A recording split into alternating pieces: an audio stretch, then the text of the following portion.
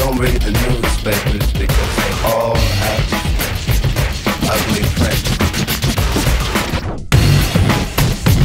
I don't read the